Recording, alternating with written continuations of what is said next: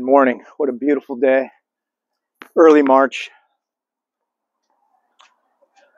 Loosening up for a match tonight. Back to my happy place here on the wall. Haven't made a video in a while.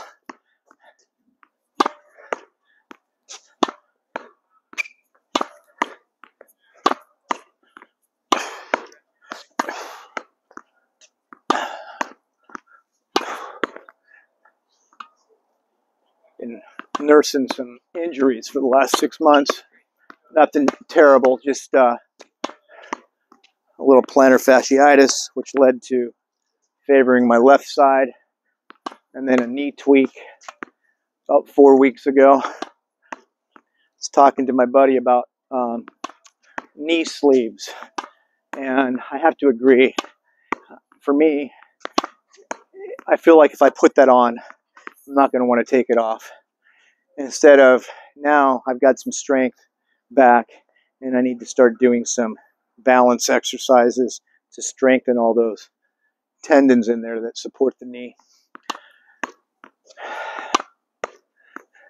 You have to also know one of the things I've done is on my serve, I've opened up my stance a little bit with my left toe instead of in here, here. So when I turn in, it's not wrenching my knee so much.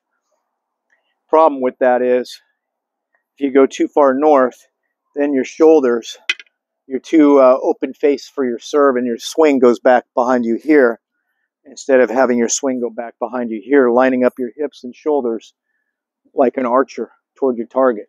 You want to be in this position. You don't want to go back this way, right? Or here is kind of a twist on the knee as well. So it's everybody it's going to be a little bit different. If you've got a knee tweak, you don't want to be here because then that's oh that's a lot to put on the knee.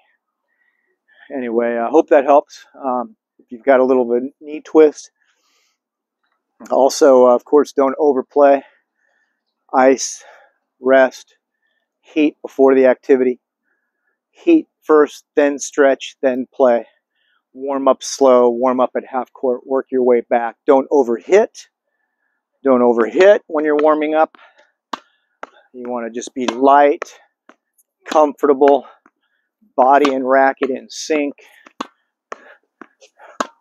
Get the ball in play, establish the rally. Here comes the match. I can't miss. I'm going to keep that ball in play no matter what. Give my opponent a chance to miss.